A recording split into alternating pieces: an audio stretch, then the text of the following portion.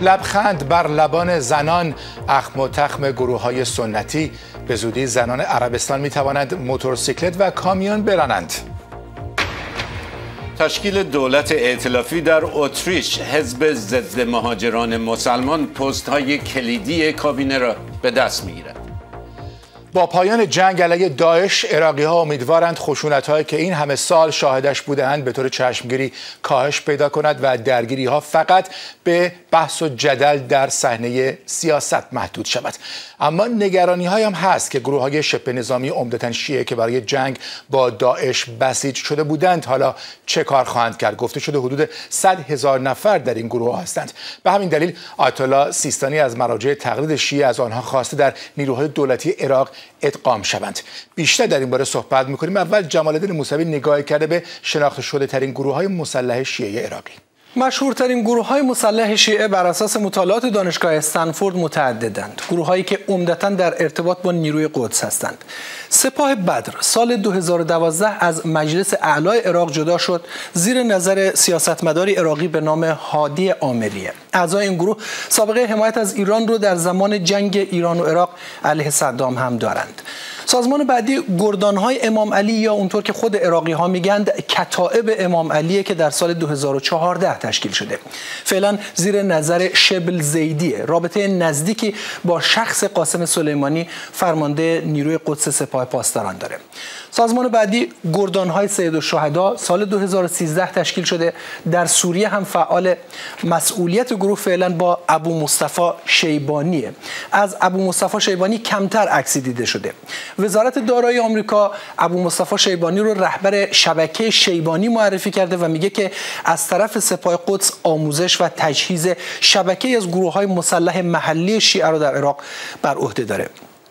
سازمان بعدی اصایب اهل الحق سال 2006 تشکیل شده. زیر نظر یک روحانی به نام قیس خزعلی. بر اساس مطالعات دانشگاه استنفورد فعلا این گروه تحت نظارت مستقیم قاسم سلیمانی گروهی که قبل از ظهور داعش هم در عراق علیه نیروهای آمریکایی جنگیده.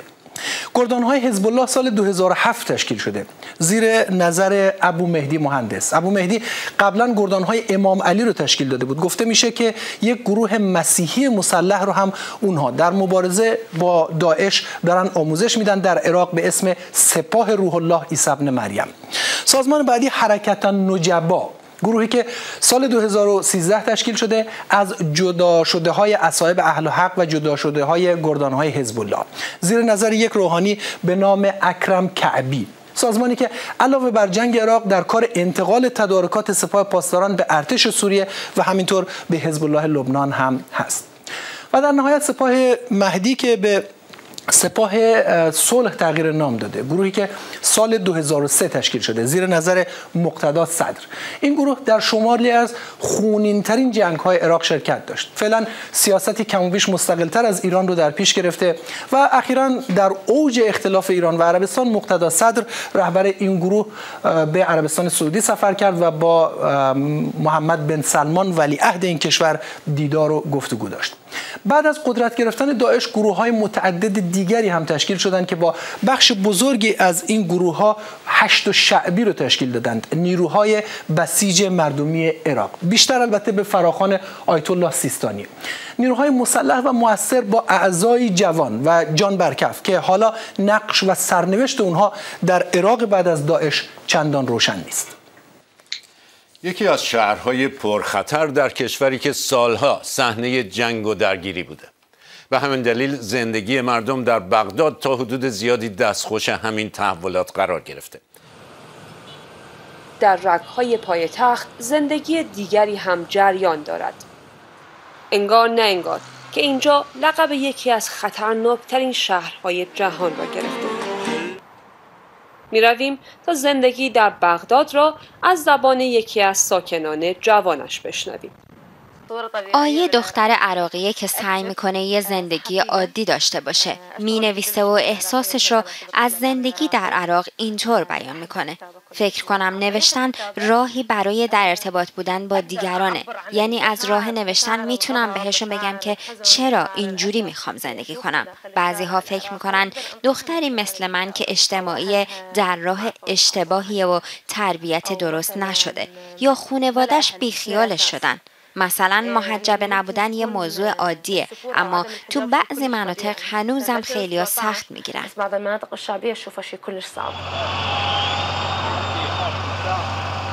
وقتی صدام سقوط کرد آیه فقط یازده سال داشت. مثل خیلی از همسن و سالهایش در عراق او هم با جنگ و ناآرامی بزرگ شده. شرایطی که نه فقط ویرانی که به گفته آیه تغییرات فرهنگی و اجتماعی را هم به دنبال داشته هر جنگی در عراق یه سری از عادتها و فرهنگها رو از بین برده و چیز دیگه ای به جاش تحمیل کرده. جامعه الان محافظه کارتر شده و خیلیا تو عقایدی محصور شدن که خودشون هم شاید ندونن از کجا آمده. وقتی به دهه هفتاد و هشتاد نگاه می‌کنیم می‌بینیم مثلا مامانم اون وقتا دامن کوتاه میپوشید بدون اینکه با مشکلی مواجه بشه اما اگه حالا من بخوام دامن کوتاه بپوشم باید از عراق برم آیه و خواهرانش برایم تعریف کردند که در انتخاب شیوه زندگی همیشه از طرف پدر و مادرشان حمایت شدند و آزاد بودند. اما زمانهایی هم بوده که ناچار به کوتاه آمدن در برابر فشارهای اطرافیان و جامعه شدند. وضعیتی که آیه می‌گوید بسیاری از دختران در عراق با آن مواجهند. سال 2006 به بعد مشکلات قومی و مذهبی تو عراق بیشتر شد. هر روز خبر می اومد که دختر غیر محجبه در راه مدرسه کشته شده. منم هجاب نداشتم. یه روز یکی تو کوچه صدام کرد و گفت یا هجاب میپوشی یا ما پدرش رو می‌کشیم. منم بین یه تکه پارچه رو سرم و جون پدرم یکی رو انتخاب کردم. من و خواهرهام شش هفت ماه هجاب داشتیم تا وقتی که محلمون رو عوض کردیم. حتی من المنطقه مرحبا. للفیصلیه با آیه همراه می شویم تا زندگی شبانه بغداد را در جمع دوستان و همسن و سالهایش تجربه کنیم. فیصلیه. زین البغدادية يا مهدود الوردية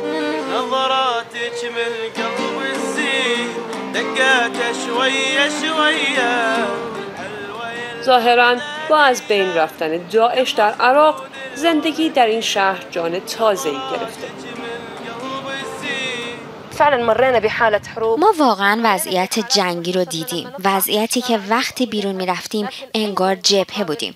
اما الان وضع بهتر شده به خصوص بعد از آزادی موسل. مردم حالا می‌تونن شبا تا یک دو بیرون بمونن. اینم یه چیز عجیبیه که عراقی ها دارن.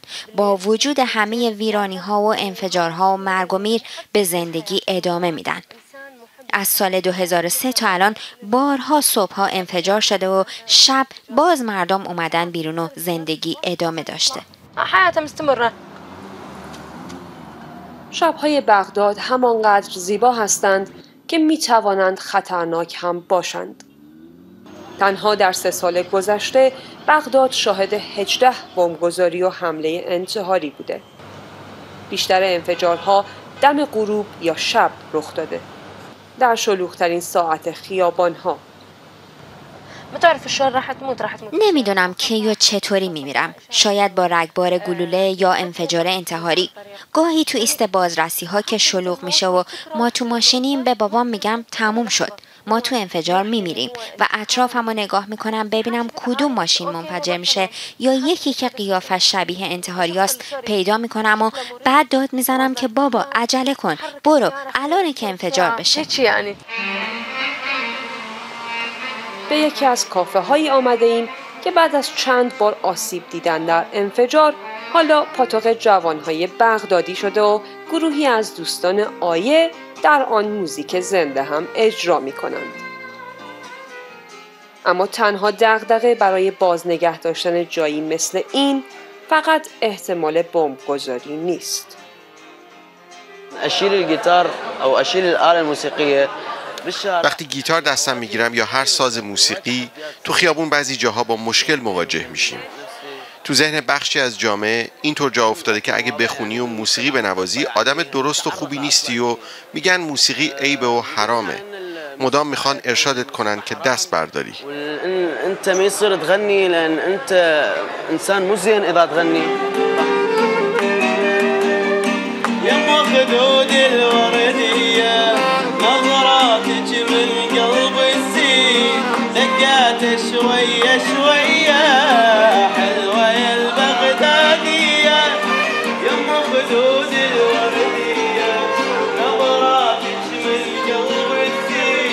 دقات شوية شوية حلوة يا البصراوية. يما خدود الوردية نظراتك من قلب الزين. دقات شوية. دائما احس بخيبه لما اشوف هذه اللافتات اینجا که دور هم جمع میشیم و بعد که میریم بیرون و عکس شهدا رو تو سراسر خیابونا می‌بینم دوباره انگار می‌خوره تو صورتم که زندگی واقعی ما اینه. من فقط امیدوارم این همه حماسه و از جان گذشتگی ها هدر نره. نگرانی من اینه که این جنگ تموم نشده یه جنگ دیگه شروع بشه. این انصاف نیست. برای اینکه به نظرم هیچ کس مثل عراقی ها قدر و قیمت زندگی رو درک نکرده. مردم عراق معنی مرگ رو درک کردن و مزه مردن رو هر روزه چشیدن و فهمیدن که زندگی بدون چالش ممکن نیست. الا بالتحدي. نفیسه کوهنورد بی بی سی بغداد.